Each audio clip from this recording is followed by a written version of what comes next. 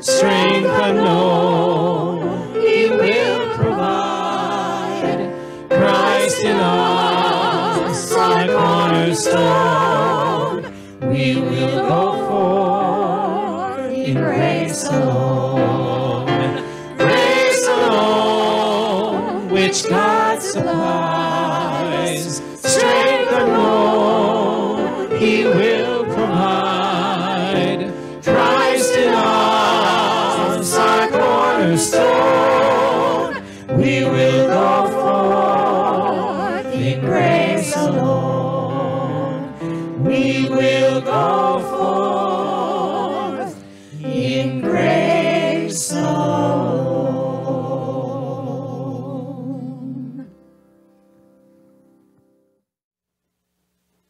the light of Christ, the love of God, and the joy of the Spirit be with you all. and also with you. In the beginning was the Word. And the, word, was with, God, and the, and the Word, Word was God. In the Word was life, and the, And the life life was the light of all people. The Word became flesh and lived among us. And, we, have seen his glory, full of grace and truth. Let us pray. Compassionate God, you gather the whole universe into your radiant presence and continually reveal your Son as our Savior. Bring wholeness to all that is broken and speak truth to us in our confusion, that all creation will see and know your Son, Jesus Christ, our Savior and Lord.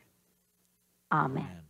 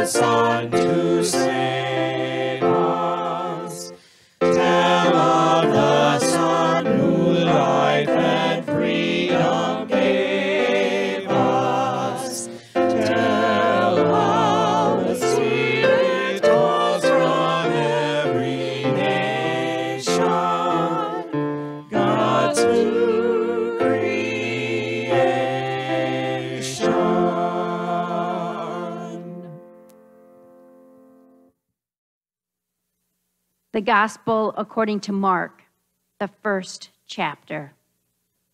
Glory, Glory to you, O Lord.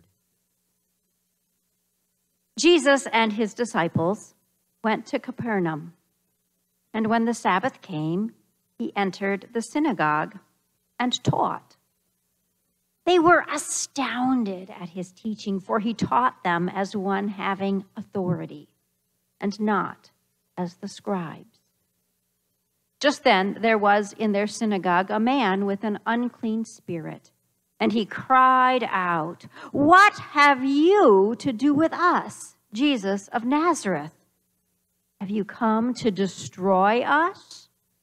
I know who you are, the Holy One of God. But Jesus rebuked him, saying, Be silent and come out of him and the unclean spirit, convulsing him and crying with a loud voice, came out of him. They were all amazed, and they kept on asking one another, What is this? A new teaching? With authority. He commands even the unclean spirits, and they obey him. At once, his fame began to spread throughout the surrounding region of Galilee. The Gospel of the Lord. Praise, Praise to, to you, O Christ. What have you to do with us, Jesus of Nazareth? screams the man with the unclean spirit. What have you to do with us? It's a good question to ask, and not just for people with unclean spirits. It's a good question for people like us to ask Jesus. It's a good question for us to ask each other. The words in Greek, ti hemin kai soi, literally mean what to you and to me, and nearly always refer to a relationship between two people who are strangers or who do not necessarily trust each other. Who am I to you and you to me? What am I to you and you to me? What is the nature of our relationship? Friends, adversaries, partners or spouses, neighbors? And underneath that important question, there is also Jesus' authority. The people are surprised by the power this peasant from Galilee has to heal and preach.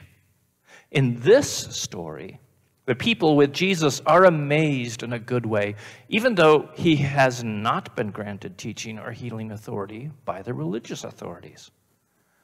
Later on, later on, Jesus' authority to say and do things will be questioned and challenged or doubted by nearly everyone, from the Romans and religious leaders on one side to his own disciples close at hand. In my final year of college, and then in graduate school, I took classes that asked me to read the Bible as a complex, sophisticated library of texts written and curated by humans over hundreds of years. And throughout that history, as they documented the different encounters with God by individuals and groups of people, the writers of the Bible always included this essential question What is the nature of the relationship between God and humanity? Between God and all life here on earth and elsewhere? Between God and the universe itself? All those atoms and stars, planets, nebulae, and even black holes. Since the beginning of our history as the people of God, we humans have been writing down and thinking about the meaning and purpose of the relationship between humans and God. In her message for the second week of January, when our worship was focused on the baptism of Jesus by John, Pastor Karen asked us to consider the meaning of the Greek word schizo, the word that is best translated as torn apart. The universe was torn apart that day at Jesus' baptism, and that tearing resonates throughout Jesus' life and continues to resonate today.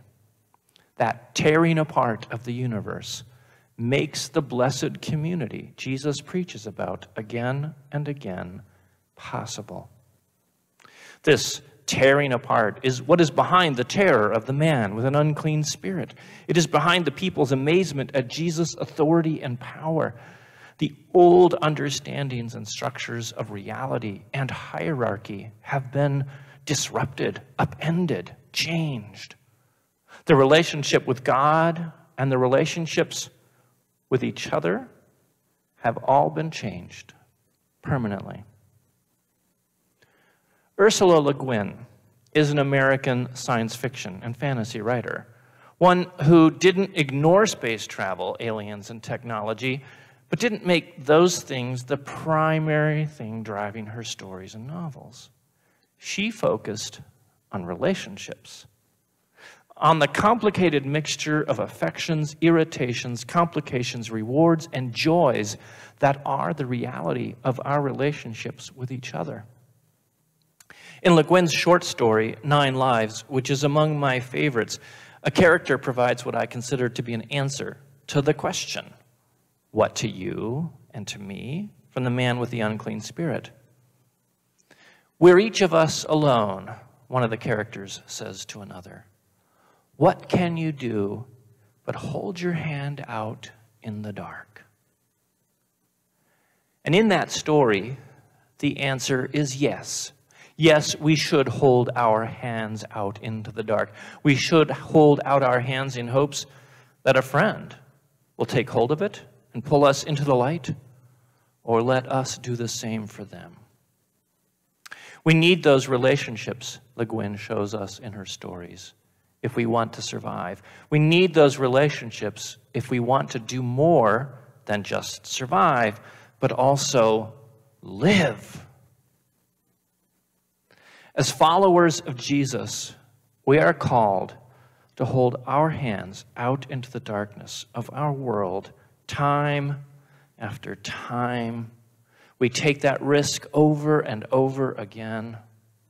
Being followers of Jesus means that we don't really have any other choice but to take that risk, or we will remain isolated and alone. Individuals who are incapable of fully understanding God's love for us or what God calls us to do as a whole community. We reach out our hands into the dark as part of the work we are called to do to build the blessed community. And so that's what we do. We reach out into the emptiness around us in prayer and praise, offering our fears, our hopes, our anger, and our troubles to God and also to each other. Our faith tells us that God will always be there, taking our hands and holding us close in love.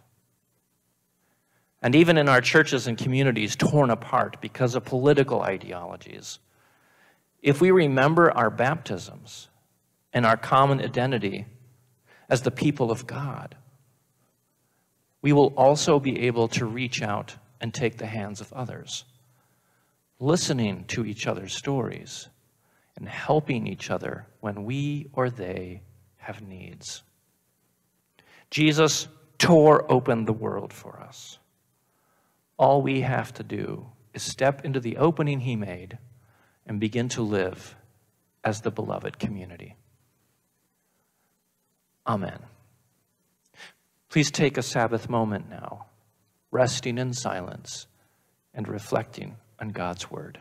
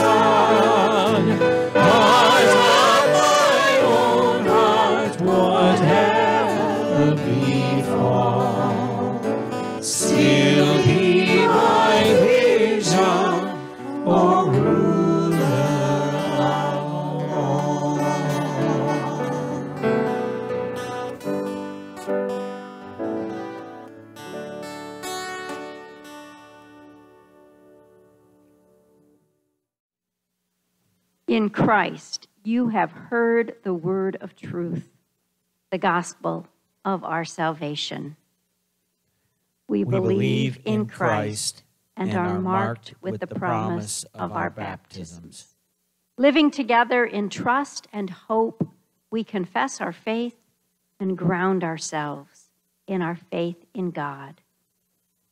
We We pray, in the Holy Spirit. We strive to keep ourselves in the love of God. We, look, forward to the mercy of our Lord Jesus Christ. If anyone is in Christ, there is a new creation.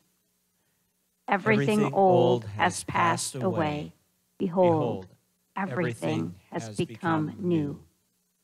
God has given us the ministry of reconciliation. Therefore, let us be reconciled to God and to one another. Gracious God, have mercy on us. In your compassion, forgive us our sins, known and unknown, things done and left undone. Uphold us by your Spirit, so that we may live and serve you in newness of life, the honor and glory of your holy name. Through Jesus Christ our Lord. Amen. Amen. The Almighty and merciful God grant us forgiveness of all our sins. Amen. Sisters and brothers, rejoice. Let us mend our ways Encourage one another, agree with one another, and may the peace of Christ be with you always. And, And also also with you. And please reach out to share a sign of peace with those who are gathered with you, or if you are alone, you may want to pause and go ahead and text, call, or email somebody to share God's peace. Here are your announcements for January 31st. Be sure to come and pick up your 2021 offering envelopes. They are available during worship today at the church in the parking lot. Otherwise, they will be available for pickup in the church office anytime hereafter. Also, available for you to pick up is Christ in Our Homes for January, as well as the 2021 calendar from Pedersen Volker and Our Savior's Lutheran Church. The coronavirus has caused us to be a scary, stressful time, especially if you live alone with minimal contact with the outside world. But you are not alone. We are all in this together. And as we adapt to the changes in the way we work, live, and spend time together, it is natural to feel stress, worry, and even anger. Finding healthy ways to cope and stay connected during this pandemic is more important than ever. Chippewa County is a caring community, and there is a local group who would love to help everyone feel supported. This group is called Check In Chippewa County, and it is a group whose volunteers offer support to community members who are in need of a connection with others. A friendly voice will call you for a conversation. For more information or to receive a check in phone call, please call Pauline at 715 726 7816. Later this morning at 11 o'clock a.m., we will be having our annual meeting. If you have not picked up your annual report yet, there is still time to do so. Just a reminder that they are, were not mailed out this year, so if you would like one, please stop by and pick one up. Our annual meeting will be available to be attended in one of two ways.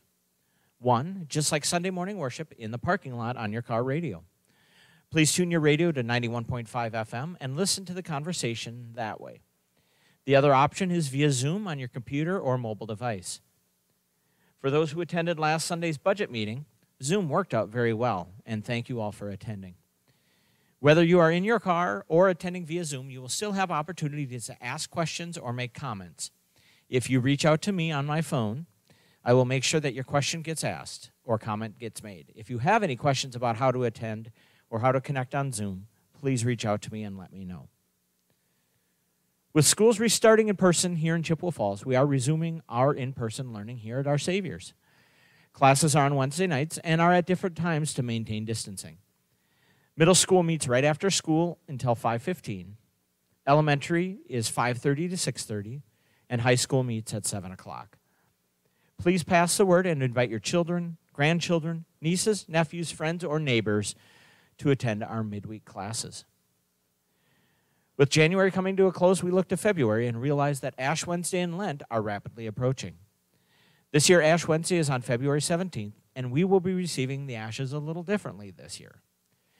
We will have two opportunities to receive our ashes in a drive up fashion in our parking lot. The two times are from noon till 1 o'clock or from 5.15 to 6.45 p.m. You will receive your ashes on a Q-tip, so we won't have any contact. Once you receive the ashes, you are invited to tune your car and park in the parking lot for a short devotional and a song, and you can tune your radio again to 91.5. There will also be an Ash Wednesday online worship option for you as well. Be sure to check that out. Following Ash Wednesday, our Wednesday Lenten services will also be online and will include the Litany of Holden Evening Prayer. This year's Lenten theme is called Creating a Covenant Heart. Please be sure to tune in and check those out. Although we don't know when we will be able to worship together outside of our vehicles and in the sanctuary, we do know that we will be able to meet for worship at Irvine Park this year, and that is something we all can look forward to. If we are not able to meet in the sanctuary prior to May 1st, our park service will begin this year on the first Sunday in May. One thing that we have been working on and hope to have completed for worship at some point this summer is a new park service songbook. It is coming together and it is nearly complete.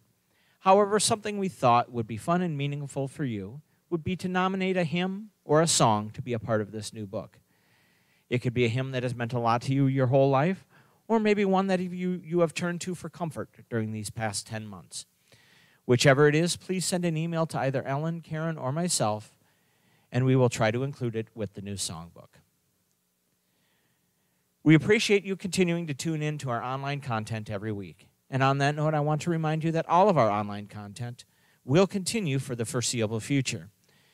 Be sure to direct everyone to our Facebook page, YouTube channel, and the Our Savior's website to view everything that we have to offer and everything that we have had in the past. If you haven't come to worship on Sunday mornings in the parking lot, plan on coming and checking it out. It is a great time, and many people who have attended feel a great sense of fellowship and community. We're seeing more and more people show up every week, and it is great to see you all there. They tell me it feels like worship even though we are in our cars and not able to greet one another. If you are concerned about bad weather, don't be. All you have to do is sit in the safe confines of your vehicle while you worship. You listen to the live worship service on your car radio, all while staying warm and comfortable.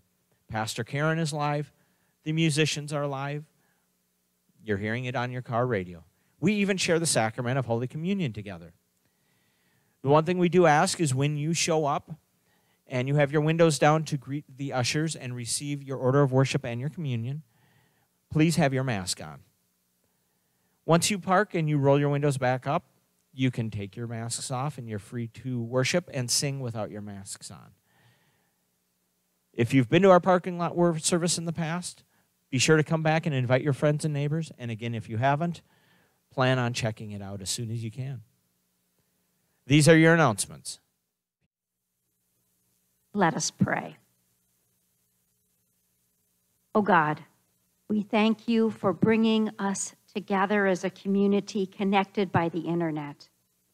As your people, we pray that your love will unite us, cleanse us of everything that would distract us or sap our strength for supporting each other and working together to serve our neighbors. May we be a community of loving purposes, reaching out to each other, breaking down walls and divisions, and building bridges that connect people. Help us to be your light and hands in a dark and fragmented world. We pray together as you have taught us. Our, Our Father, Father, in, heaven, heaven hallowed be your name. Your kingdom come, your will be done, on earth as in heaven. Give us today our daily bread. Forgive us our sins as we forgive those who sin against us. Save us from the time of trial and deliver us from evil. For the kingdom, the power, and the glory are yours, now and forever. Amen.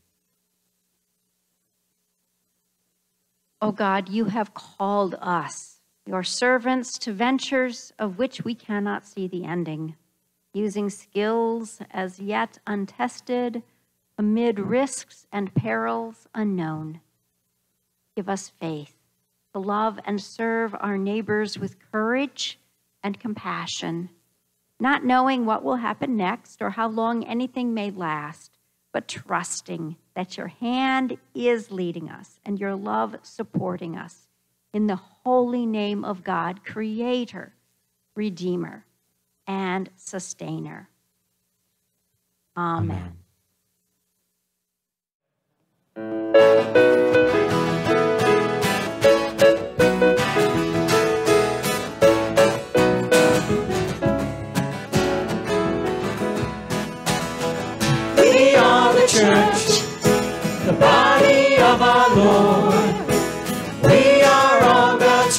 Children, we have been restored. The church is not a building where people go to pray. It's not made out of sticks and stones, it's not made out of clay. We are the church. The body of our Lord. We are all God's children, we have been restored. Go to worship, but you cannot go to church. You can't find a building that's alive, no matter how you search. We are the church, the body of our Lord. We are all God's children. We have been restored.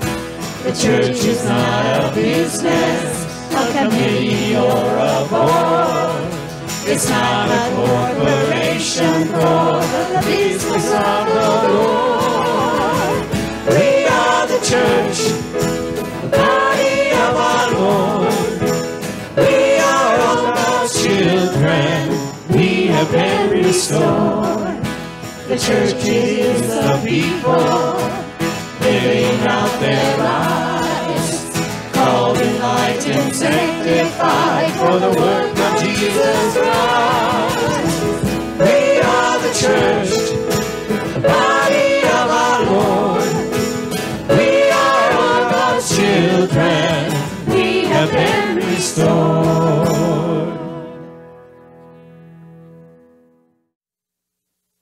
Abide in peace. Serve the Lord. Thanks, Thanks be to God.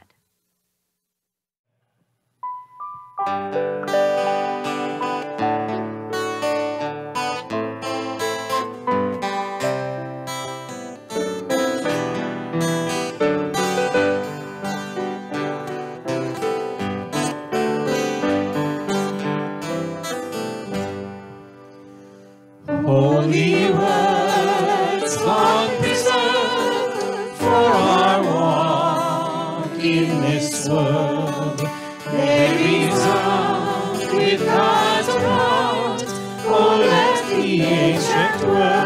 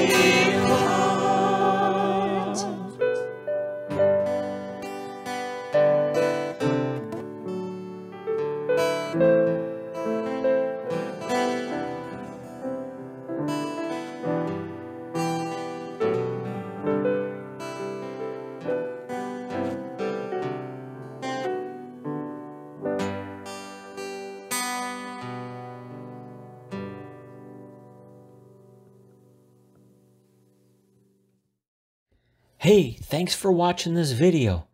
Be sure to give us a like and even a comment. And please, please, please don't forget to subscribe to our channel.